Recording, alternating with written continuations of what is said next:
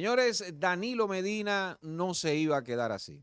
Ya tiene su venganza, él sabe que la misma es un plato que se sirve frío, ¿no? Y se disfruta así, se toma su tiempo y ya eh, tiene todo armado, tiene todos los cañones de Navarrones apuntados hacia Abel Martínez.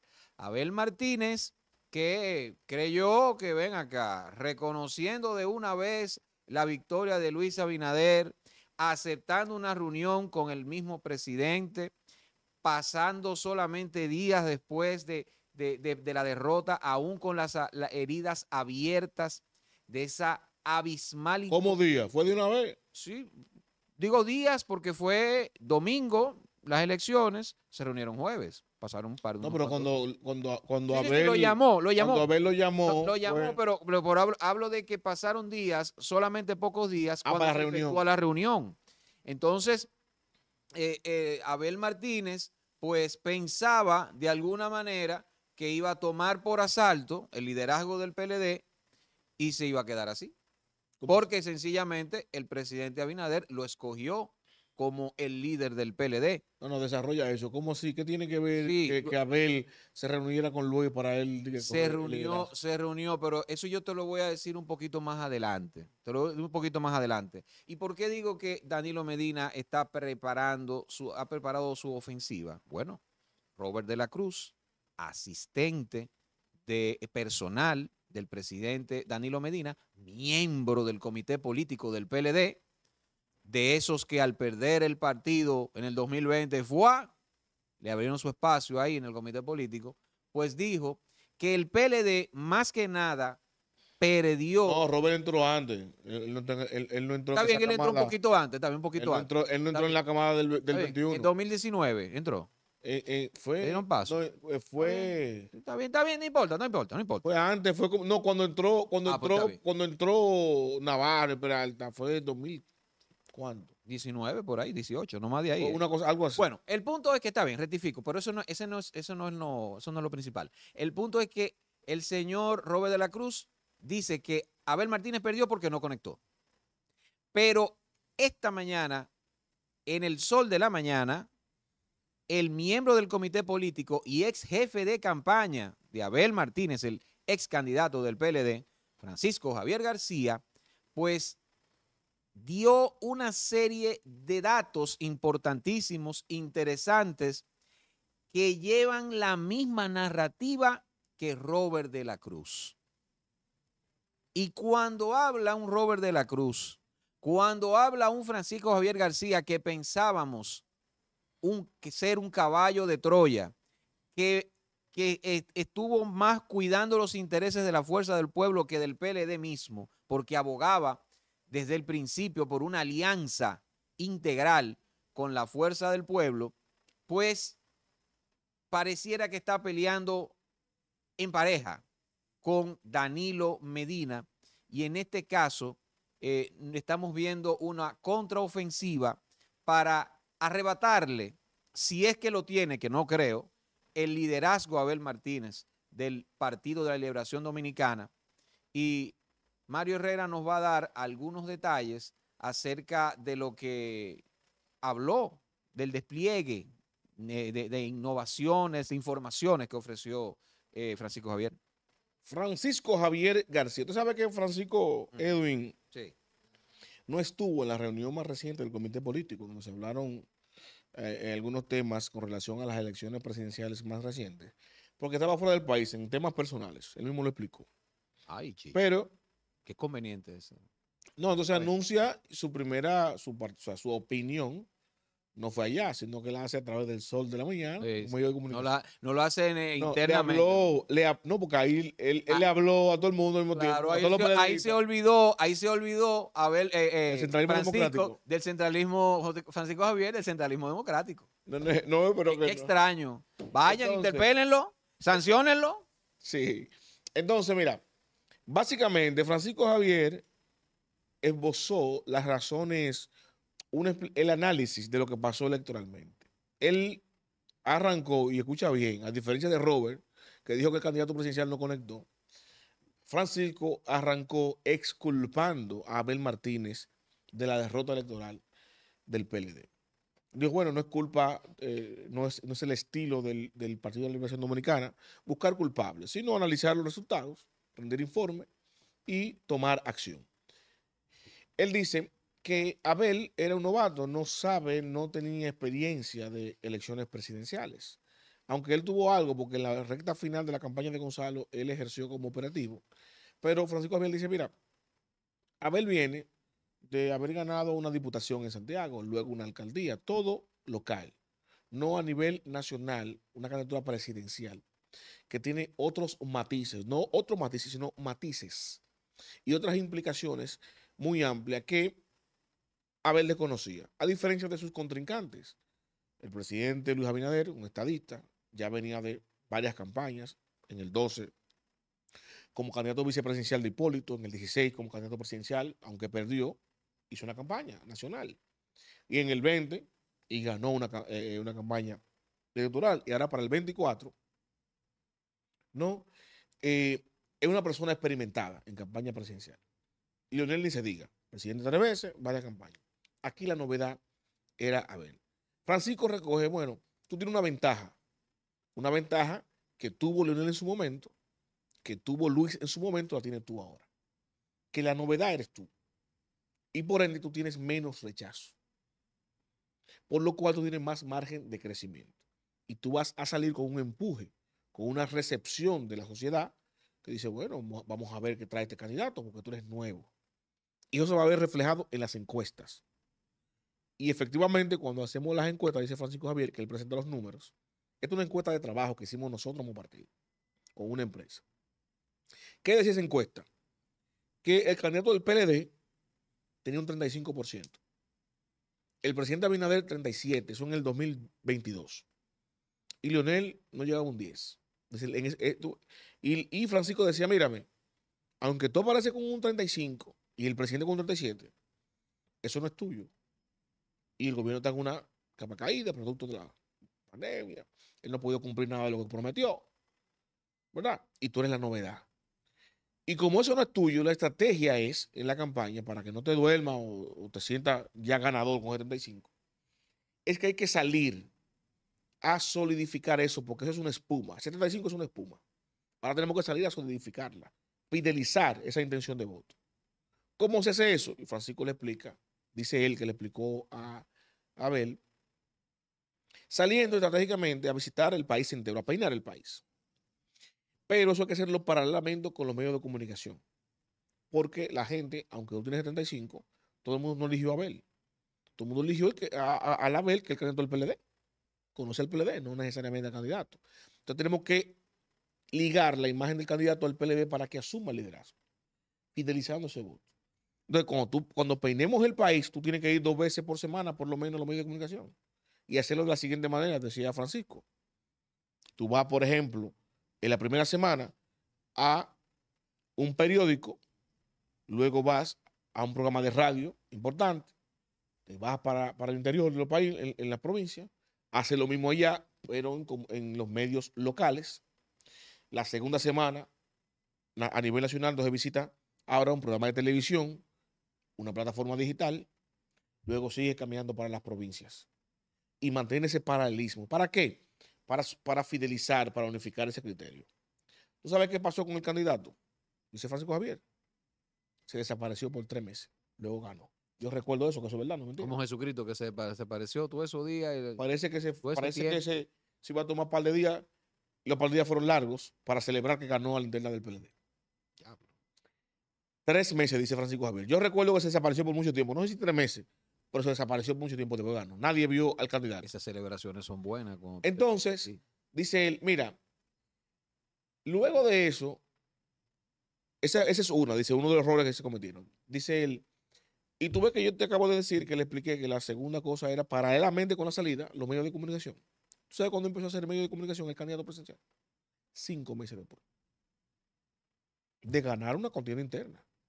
O sea, se perdieron tres, cinco meses de unidad de criterio porque tú ganaste la interna, pero tú enfrentaste varios aspirantes que tienen su estructura.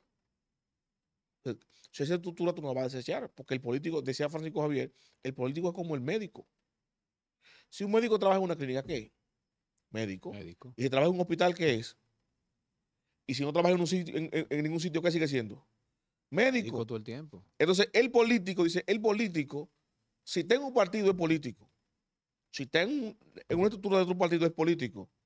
Si no está contigo, sigue siendo político. Y si se va, sigue siendo político. Entonces, al político tiene que estar activando. Porque si no activa contigo, activa con otro. Y si no activa con otro de los tuyos, activa en contra tuya. Entonces, lo, lo que mandaba la estrategia política era esa unificación. Sacar un, un 35, pues el 35 no es tuyo, repito, el partido, la estructura. Pues tú tienes otros aspirantes que están, otras estructuras que tienes que sumarla. ¿Cuál debió ser la estrategia? Salir a solidificar eso, a unificar eso, consolidar ese 35 y luego pensar en un crecimiento. Si no lo haces así y entiendes que automáticamente eso es tuyo, pasa lo que pasó. Empezaron a, a decir, no, no, pues. Yo soy un borrego que tengo que seguir. Eso lo estoy agregando yo, porque es la interpretación que doy de Francisco. Inclusive, cuando Francisco dice, bueno, yo esculpo a Abel, todo lo que me dice después es culpa de Abel. El- que el candidato no saliera por tres meses, ¿de quién es? Yo le culpo, eh, yo le culpo, eh, Sí. pero y él no tiene responsabilidad, la única responsabilidad. Pero, Sí, pero eh, él, él fue que se desapareció por tres meses, luego por cinco. Entonces, inclusive Francisco decía, mira, otro detalle importante en estrategia política. El eslogan de la campaña del PLD, el candidato presidencial, ¿sabe cuándo salió?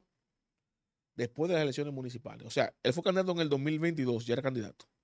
Y el eslogan de la campaña lo decidieron en el 2024, dos años después. Francisco concluyó diciendo, mira, la campaña del PLD realizó estratégicamente todo lo que tenía que hacer para joderse. Todo lo que tenía que hacer, no solamente para joderse, sino para que Luis ganara en primera vuelta, dice Francisco.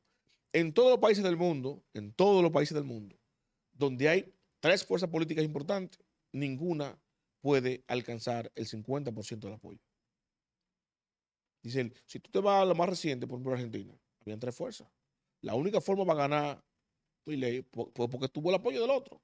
de Mauricio Macri. Si o sea, no, no hay el, líder, forma. el líder del PRO. Si no, no hay No de. Patricia Bullrich, que era la candidata, y es porque no podía aspirar, porque está muy despreciado a nivel electoral y de valoración de la población. Pero él es un articulador, Correcto. un político, Un, un político de verdad. que no es Milei, Milei no es un político.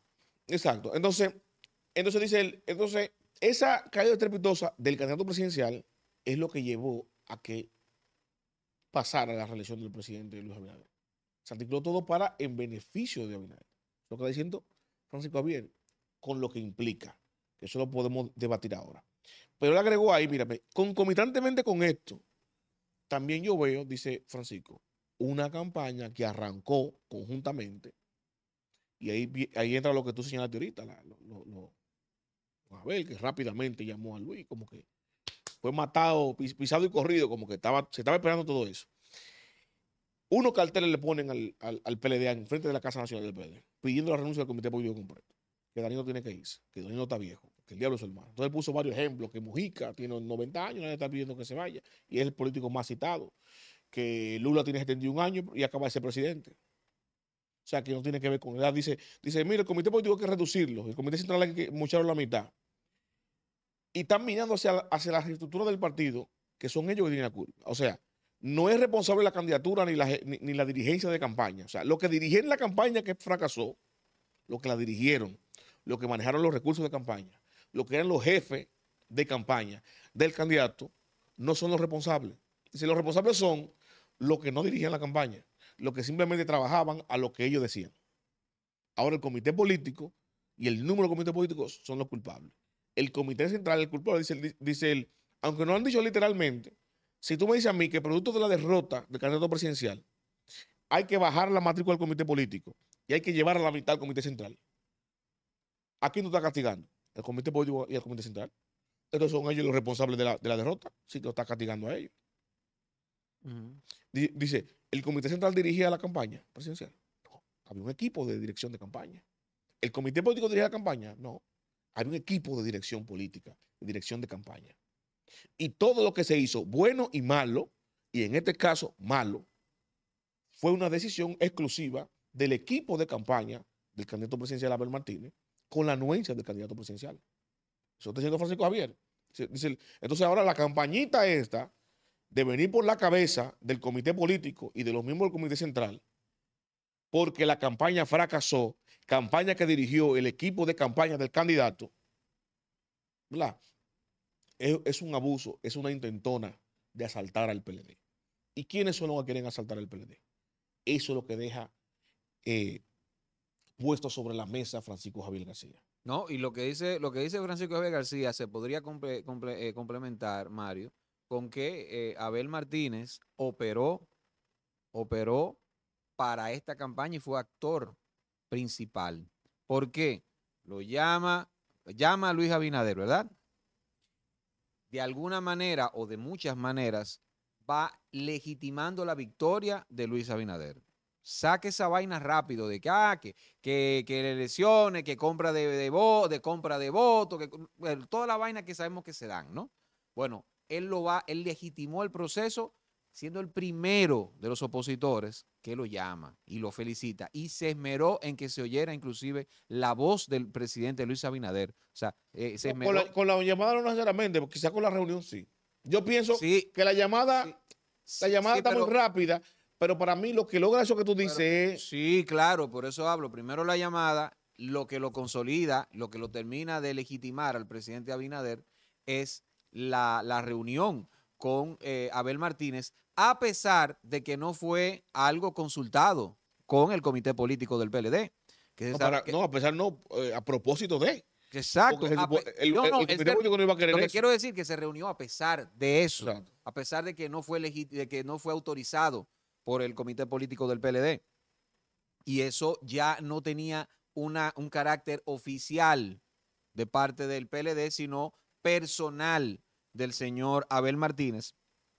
Entonces, se está hablando ahí, se está hablando ahí entonces de que sería que Abel Martínez iría por el liderazgo de, del PLD con esta, con esta reunión con el presidente Abinader, que a su vez lo valida como ese líder opositor, ¿no? Como ese líder opositor del Partido de la Liberación Dominicana.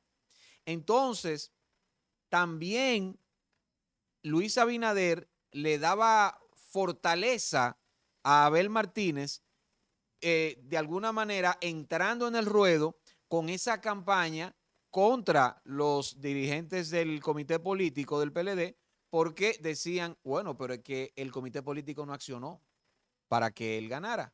Todo lo contrario a lo que está eh, narrando Francisco Javier García. No, no, es que ellos no operaron, eh, le hicieron huelga de brazos caídos a Abel Martínez. No, no, eso es culpa de Danilo, porque es por la cabeza de Danilo eh, y de los demás, ¿no? De los miembros del comité político de los viejos.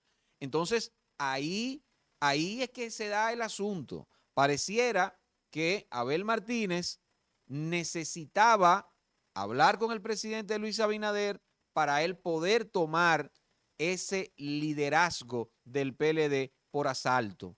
Pero yo entiendo que un mal candidato, con todo lo que ha explicado eh, Francisco Javier García, que me parece muy bien explicado, porque todos sabemos aquí, señores, de manera oficial y oficiosa, que el señor Abel Martínez era muy mal candidato, tan malo que no articulaba su propio partido ni sus bases. Pero señores, el mismo Danilo Medina dijo, señores, ¿ustedes creen en Dios? Sí. ¿Ustedes lo han visto? No. Ah, bueno. ¿Por qué se quejan de que no ven al compañero Abel? Él es como Dios. Él va a estar presente, él lo va a escuchar. Eh, estamos viendo débil. Él va a Él no- él llegar. dijo como Dios. Él dijo, crean, crean, que no- aunque no puedan ver todos al candidato, Él lo trabajen él por un lo- candidato. Lo porque- equiparó con Dios porque no lo ven. No, no, con el ejercicio evangélico, no con Dios. Lo con Dios. equiparó con Dios, Mario, porque no lo veían. O sea, el mismo partido, señores, señores, Abel Martínez se reunía con quien le daba la gana en el PLD. Ni siquiera visitaba a los liderazgos provinciales y barriales de verdad. A los líderes de verdad, él los ninguneaba. Coño, y usted lo sabe, Mario Herrera. Lo sabe usted. No, lo tú- sabemos mucho. Óyeme, si lo sé Mira, yo, lo sabe usted ¿Tú más sabes, que yo. tú sabes qué decía, qué decía también Francisco Javier? Francisco Javier le agregó lo siguiente electoralmente. Él le puso ejemplo. Dijo, mírame. En la provincia de Santo Domingo, Cristina Lizardo obtuvo casi 400 mil votos, más de un 40% de, de la votación eh, en comparación ¿verdad? con el candidato oficialista que ganó. Dice, de ese 40% que sacó Cristina, ¿sabes cuánto, cuánto alcanzó el candidato presidencial? Ni un 15, ni un 13. En Santo Domingo. Y dijo lo mismo, mira, tú vas a Puerto Plata, pasó lo mismo. Puerto Hermosa sacó un 44%. ¿Verdad? Pero digo, no ganó el caño, pues sacó un 44%. El candidato presidencial no llegó un 15%. Ah, Y cuando tú buscas otras plazas, otras provincias, dice, tú te vas a dar cuenta con el mismo fenómeno. Que a nivel congresual, congresual, aunque el PLD no obtuvo escaños, eh, sacó por encima del 30 en promedio. Por ciento. Pero a nivel presidencial no llegó al 15. ¿Qué quiere decir eso? La candidatura presidencial de los partidos, que es la más importante porque es el poder, ¿verdad? Y es la figura de poder donde- se ancla todo el liderazgo nacional, de alguna manera impulsa a las demás candidaturas. ¿Verdad? Tanto es así, y él pone el ejemplo, miren lo que pasó en el PRM con, con el presidente Abinader. El presidente Abinader, con su candidatura presidencial, impulsó a otros candidatos a senadores, barrió, cogió todos los senadores. ¿Cuál fue el segundo más votado? Leonel Fernández, un 29%, casi un 30%. Cogió tres senadores. Lo que decir que la candidatura de Leonel impulsó los dos senadores. Pero así como impulsa hacia arriba, así como carga una candidatura presidencial a los demás candidatos, también lo impulsa hacia abajo. Porque si tu candidato eh, eh, provincial, que es el senador o senadora, proyecta un 45 y tú proyectas un 30, puede que te articule un 50 y gane, o un 48 y gane. Porque estás pro- proyectando un 45 y tú proyectas un 10, un 12, al final ese de 45 termina en 38, porque tú estás jalando hacia abajo. Sí, sí. ¿Me entiendes? Entonces, entonces dice, la debilidad, dice Francisco Javier García, de la candidatura presidencial costó que no pudiéramos tener ningún escaño. Dice él, si la candidatura presidencial se comporta como estadísticamente, como se proyectó que debió comportarse la candidatura presidencial, y el candidato saca un 24, un 26, un- lo que debió sacar, y Leonel no hubiese sacado un 30, hubiese sacado también un 22, un 23. Dice, si eso pasa así, el PLD obtiene aunque sea 6 o 7 senadores. Eso es así. Y miren, señores, la hora de Abel Martínez en el PLD, la hora de, de ejecución ha llegado. Porque, mira, re- repaso. Robert de la Cruz, responsabilizándolo de la derrota. Francisco Javier García lo hace también. ¿Y en qué escenario Francisco Javier García lo hace? En el sol de la mañana. ¿Dónde? En un programa donde su coordinador, el líder de ese espacio, por así decirlo, Julio Martínez Pozo, es un hombre de Danilo Medina. Sigue siendo un hombre de Danilo Medina. Y cada vez que usted oye opiniones políticas de Julio Martínez Pozo, está escuchando en gran medida, no vamos a decir todo, pero en gran medida lo que piensa Danilo Medina y cómo actúa inclusive. O sea que, Abel, te jodiste. No vas a ser el líder del PLD.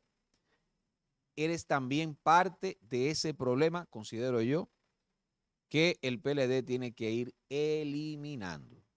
¿Qué piensan ustedes? Esto es La Quinta Pata. Mario Herrera, Edwin Cruz. Recuerden suscribirse, activar campanita, darle a me gusta para seguir creciendo y compartir.